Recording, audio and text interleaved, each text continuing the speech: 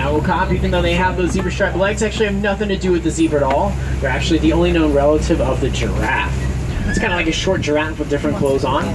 Giraffes live out on the savannah. They want to be nice and tall and eat off the tall trees, but she lives here in the forest and she's very, very shy. So she prefers to be a little more compact, a little more easily able to disappear. That extra bit of camouflage she has does a great job of helping her blend in here in the forest.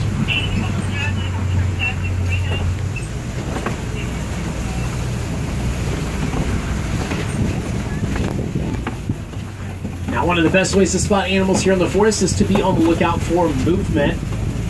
A lot of times the animals will rely on their camouflage to conceal themselves, sometimes not even hiding behind anything, just hoping to blend into the background. And then as soon as they move, you realize, oh, there's an animal right here in front of my face. So be on the lookout.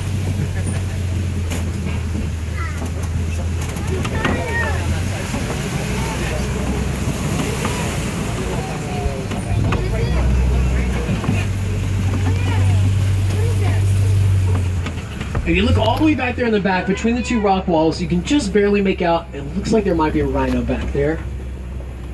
Okay, I can't see anything. It's kind of tough to spot. You can just barely see it. If it were moving, you would know what I'm talking about. I see it. Also coming up here on the left-hand side, you're going to see some reddish coppery colored animals, and these are called bongos. And the lighter tan one is called a greater kudu. Now, black rhinos are actually really tough to spot these days. There's only about 5,000 black rhinos left in the entire world. And that is due, of course, to poaching for their horns. Their horns are believed to have medicinal value in certain cultures around the world, but are actually just the exact same substance as our hair and fingernails. It might sound crazy to you guys if people go through all the effort to poach animals for fingernails, but that's where going home, learning more about these animals, and sharing that with others can actually help make a real difference and a real impact on our lives out here in Africa. By working together, we can help combat that old superstition and hopefully eliminate the market for rhino horns altogether.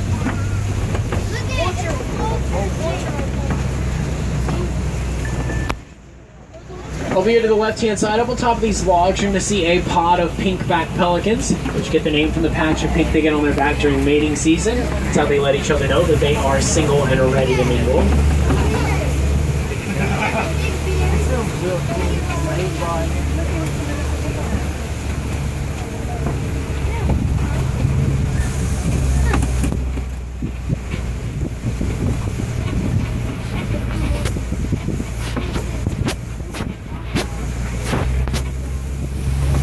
Over here to the left-hand side, you'll see a whole bunch of Nile crocodile.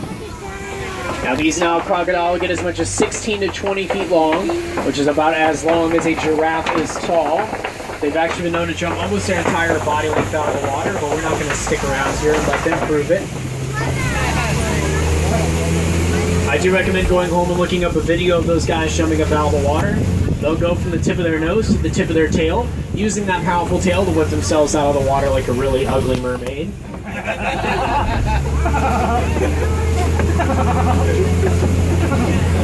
I'm going to go ahead and make our way out to the savannah. The savannah is a completely different ecosystem with different animals, but you'll probably recognize this area of the reserve. It tends to be the one that comes to mind when people think of Africa. It's got the wide open grasslands, the tall acacia trees, and it's also home to a lot of the more celebrity animals, things like your elephants and lions and giraffes. So be on the lookout for your favorites out here, folks. Now coming up here on the right hand side, you're going to see a big tree, and this is called a baobab tree. You'll probably recognize it by its nickname, the Tree of Life, which it gets because it stores thousands of gallons of water within its trunk. Elephants have actually figured out that water is in there, and they'll come along and use their tusks to poke holes in the trunk, and then drink the water out, kind of like their own little elephant water tower. Some of the other animals also chew on the roots of the bark to get water out that way. Now, like I said, this area is called a savanna. That's the type of ecosystem. Just like we came from the forest, now we're heading into the savanna. This area, specifically and geographically, is referred to as the Serengeti grasslands. They stretch for hundreds of miles across the continent of Africa, and they're used as a migratory superhighway for tons of different species every year. So be on the lookout for lots of really cool, really diverse wildlife out here, folks. Chances are you'll get to see some pretty cool stuff.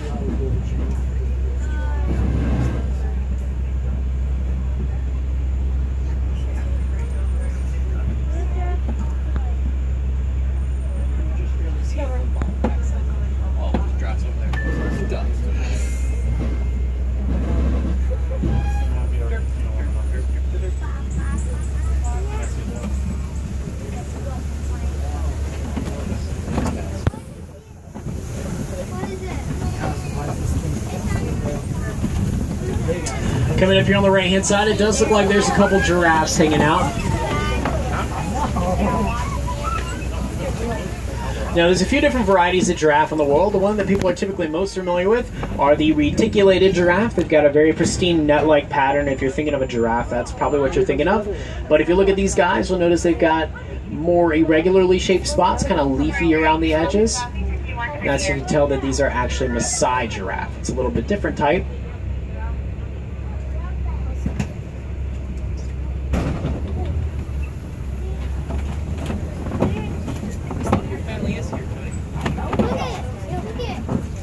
Over here to the right hand side, you also see a couple of cream colored antelope out there in the distance, and those are called eland. And then closest to us, these huge horns you see sticking up belong to some Ankole cattle, which are the only domesticated animals here on the reserve. But they're not used for meat or milk like most domesticated species. They're actually considered to be a symbol of wealth, the farmers who raise them take a ton of pride in those guys. Despite being used as a symbol of wealth, their horns are not just for show either. They actually do serve a very real purpose. They're filled with a bunch of blood vessels. And Their blood will pump up into those horns where it can cool off and then circulate back down in their bodies. And that's how they're able to stay nice and cool out here on the reserve. Take a look over here to the left hand side in this little cubby hole. There is actually a uh, hyena hanging out. Do y'all see that, guys? Now, contrary to popular belief, hyenas are not scavengers. They do their own hunting, just like any other predator. They are, however, very opportunistic, so you often find them stealing from a leopard or a cheetah. Those animals are very timid, not really willing to put up a fight with one of those hyenas, so running over and snatching their prey from them makes a pretty quick and easy meal.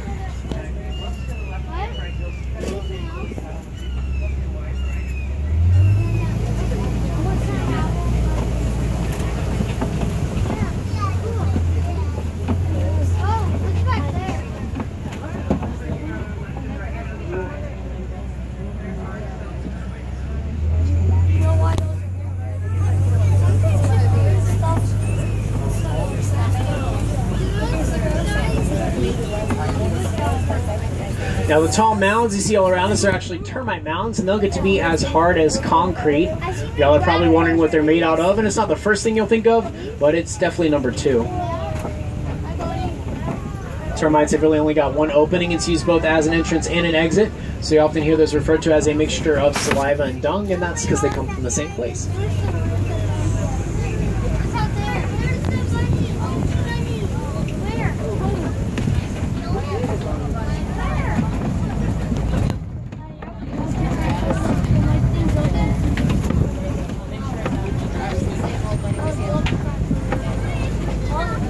Here's those eland here to our right.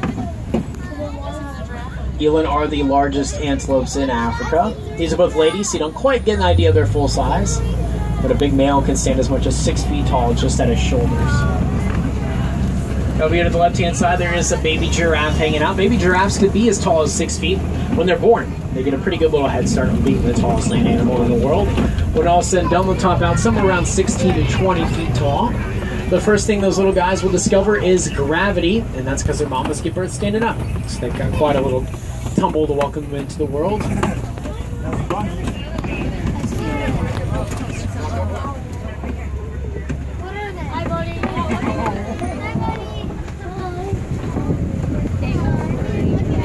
Now up ahead, you're going to see a bunch of gray animals, and those are white bearded wildebeest. Wildebeest are one of those animals famous for migrating through these Serengeti grasslands every year. If you've ever seen a nature documentary about Africa, you've probably seen at least one segment on their massive herds. They can travel in groups of well over a million. Herds of that magnitude truly have the power to shape entire landscapes with their millions of folks pounding the dirt every single day. Just one of the many ways the animals out here work to shape their landscape just as much as it works to shape them.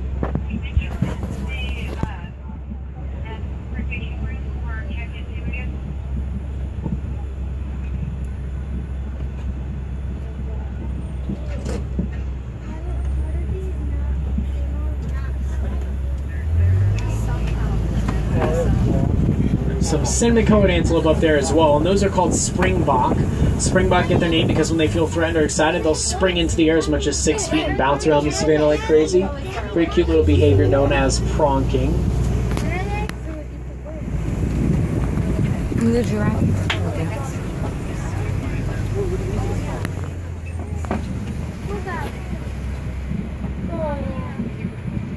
Yeah. It's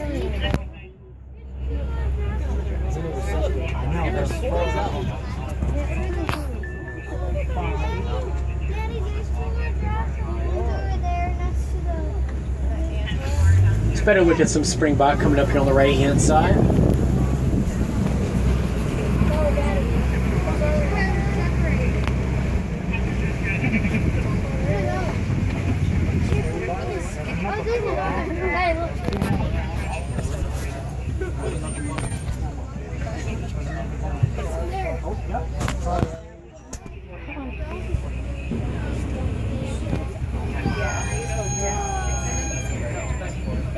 I do see uh, another baby giraffe up ahead. We'll hopefully get a pretty good look at it in just a second. Look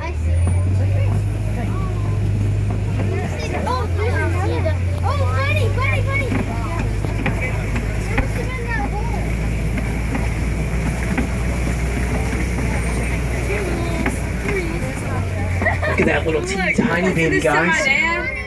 and he said, he said, tell her to feed mommy the chocolate. Oh, there's a bunny.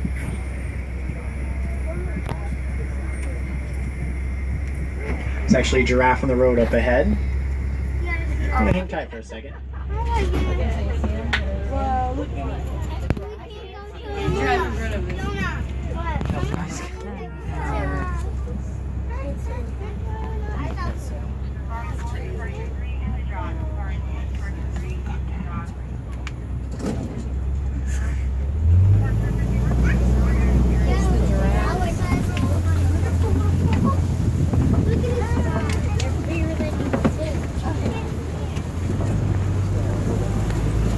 Now up ahead, you'll see some fallen trees. That's a pretty good sign that there might be some elephants in the area.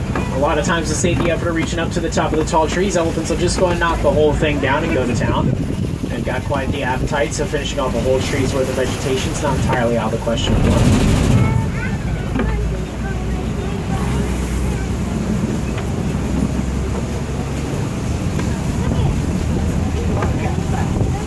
Take a look over there at the right hand side, guys. It does look like there is an elephant over there, a relatively young elephant. I say relatively because elephants have a pretty long childhood. It can take them as much as 15 years to reach adulthood. And just like us, they have to learn pretty much everything from the time they're born, including how to use their trunks. Their trunks have got over 40,000 muscles in them, which is more than we have in our entire bodies. So as you might imagine, that takes a little getting used to. But they'll learn by watching their mamas and their big siblings and the rest of the ladies in the herd. They'll teach them all kinds of little tips and tricks about what it takes to be a successful elephant. Now I'm going to head around the corner and out to the red clay pits. Recently, there's been a whole herd of elephants who have taken quite a liking to this area of the